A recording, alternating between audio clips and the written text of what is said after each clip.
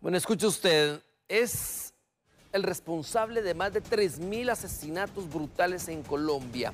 Mano derecha de Pablo Escobar, uno de los narcotraficantes más poderosos tenidos del mundo en su momento. Hablamos de Popeye, el sicario de Pablo Escobar, quien después de estar luchando varios meses contra un cáncer de esófago, perdió la vida precisamente hoy, a las 5 con 30 minutos de la mañana. John Jairo Velázquez Vázquez, conocido como alias Popeye, murió en el Instituto Nacional de Cancerología allá en Colombia. Estamos hablando de una pérdida para el narcotráfico. Observe, esta, la que usted ve en círculo, era la imagen cuando él salía de prisión, se recuerda usted, después de haber estado más de 20 años en prisión, o 25 años, y véalo cómo la enfermedad, cómo el cáncer lo llevó a poderse deteriorar en cuestión de días, alias Popeye. Así estaba, perdió peso, perdía sus defensas, ya estaba solo en cama, ya no hablaba, no comía. El cáncer lo mató en un par de meses, un cáncer de esófago. Así murió John Jairo Velázquez, alias Popeye, jefe de sicarios de Pablo Escobar, el narcotraficante más poderoso del mundo. También en su momento se le atribuyó más de 3.600 asesinatos de manera brutal. Y vea, acá era una notificación. ¿Se recuerda usted que él primero pues había salido, eh, había recuperado su libertad, posteriormente también fue nuevamente procesado por las fiscalías de Colombia por los asesinatos y su vinculación al narcotráfico y era así cuando él ingresaba de un centro hospitalario, vea usted, custodiado por la seguridad colombiana. Pero ya llevaba varios días de conocer de su estado de salud, una enfermedad que le sorprendió al momento de recuperar su libertad. Es decir, cuando estuvo en la cárcel, jamás imaginó que iba a padecer de esto cuando él sale, cuando recobra su libertad, después de haber cumplido condena dentro del penal, empieza a padecer de quebrantos de salud y le diagnostican cáncer de esófago, el cual después del 31 de diciembre, escuche usted, el 31 de diciembre del año 2019 era hospitalizado, llevado de la cárcel hacia un hospital para poder de esa manera tratarse el cáncer de esófago, lo cual lo mató en un par de días. Observe usted esta es una de las fotografías más recientes de John Jairo Velázquez Vázquez, alias Popeye, capturado de nuevo el 25 de mayo del año 2018, sindicado por los delitos de concierto para delinquir y extorsión, aparte asesinato.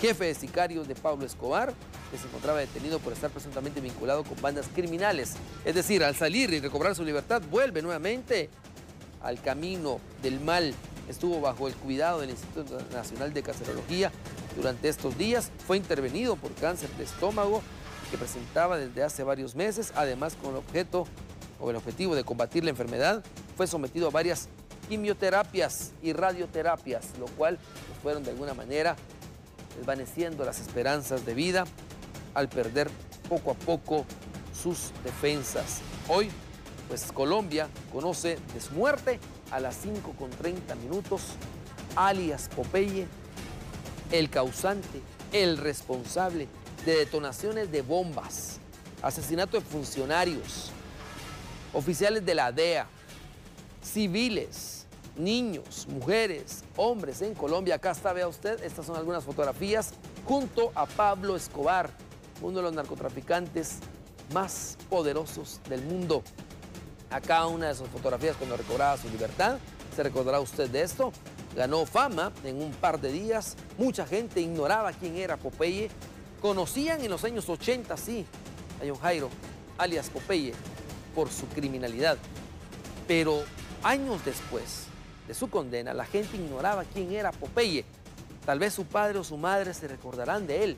Pero vea usted, este hombre generó pánico en Colombia, generó pánico en Sudamérica, tenía a los agentes de la DEA prácticamente tras de él durante años.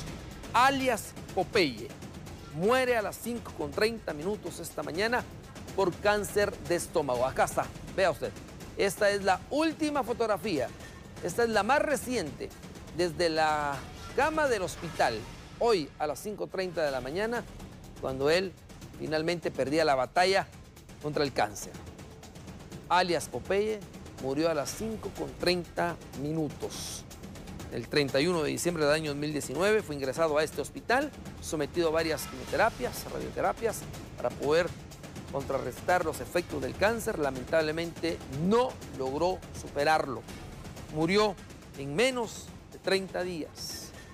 Muere pues, este personaje vinculado, mano derecha de Pablo Escobar, vinculado al narcotráfico transnacional, al sicariato. Se podría decir que es reconocido en Latinoamérica como el padre del sicariato. Es decir, en Colombia en los años 80 iniciaba él a entrenar a sicarios en motocicleta, quienes mataban funcionarios civiles, gentes federales. Y fue así como agarró fama de ser uno de los jefes de sicario. Escuchemos parte de algunas declaraciones que dio en su momento al recobrar su libertad después de más de 25 años de estar en prisión. De Ni la iglesia, no. evangelistas. No, esto es mafia. Se cometió un error y se muere, hijo de puta. Mira, acá usted ve la ciudad de Medellín, vea. Esta ciudad tiene mucha historia, tiene sangre, tiene pasión, tiene emoción. El clima aquí es perfecto. Es como una mujer hermosa. Y el patrón le dio 500 mil dólares con el compromiso de que no le enseña- le enseñara a nadie más. Y le enseñó el cartel de Cali porque él tenía contacto con el cartel de Cali también. Nosotros bajamos, vamos allá a la, a la casa del patrón, eh, eh, al edificio Mónaco, se saca a Manuela, se saca a Juan Pablo allá, a Doña Tata y pues, realmente a la niña no le pasó absolutamente nada. A la familia solamente le cayó la estructura de yeso de- del edificio y se quebraron los vidrios, pero no pasó absolutamente nada. El escándalo fue una cosa de loco, una cosa brutal. Y llegó el gobernador de, Antioquia de la época, el alcalde, la policía, y hubo muchísimos problemas, pues todo el mundo sabía que colocarle un carro al edificio de Pablo Escobar significaba guerra y atacaron su familia. Y se sabía que era el cartel de Cali. La guerra se iba a recrudecer muchísimo más. El patrón estaba tranquilo. Al patrón que le preocupaba que estuvieran bien Manuela, Juan Pablo y Doña Tata. Después de eso, los daños materiales no le importaba. Estaba tranquilo y nos reunió a todos, reunió las cabezas. eh, la noche fue larga porque toda la noche hubo reuniones y se dio la orden de empezar a colocarle eh, bombas a las drogas de la rebaja y se dio la orden de arreciar la guerra en contra del cartel de Cali. Pero no pasó de ahí, el patrón mantuvo el control todo el tiempo. El patrón era un hombre de hierro. Si usted escucha las declaraciones severas, claras, crudas, si usted lo quiere ver así, de por orden de Pablo Escobar, él decapitaba, asesinaba, quemaba vivas a las personas. Él es vinculado responsable de 3.600 muertes brutales en Bogotá, en Colombia.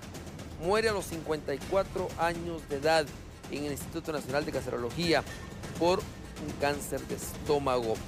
Madrugada de este jueves y finalmente pierde la vida. Popeye, la mano derecha del narcotraficante Pablo Escobar, que es muy escuchado ya en las series de televisión actualmente, muere, considerado el padre y también creador del sicariato en Latinoamérica, jefe de sicarios de Pablo.